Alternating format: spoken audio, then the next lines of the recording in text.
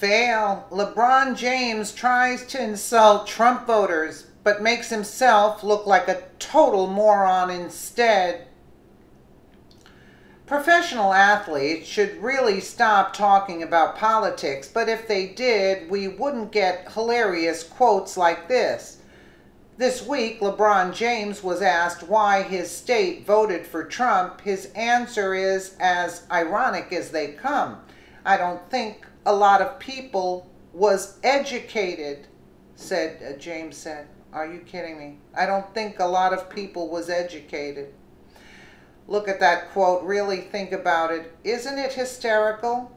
And he wasn't even done. People are just not educated on either the individual or what's actually going on in the state of the world right now not that particular state, but the state of the world, James said, before sticking his foot in his mouth once again. I don't think a lot of people are educated and they make choices and say things that's uneducated. Hopefully, James isn't asking people to be educated, quote, by an adult man who can't, still can't conjugate his verbs, because that would be an uneducated thing to do.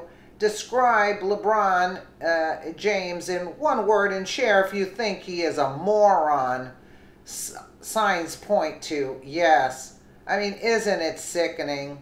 And he's talking about people being uneducated, and that's how he speaks. I mean, it's pathetic. That's why they should stick to playing ball and, and get out of politics and uh, stop being Soros shills let me know what you guys think in the comments below. And again, thank you so much for watching.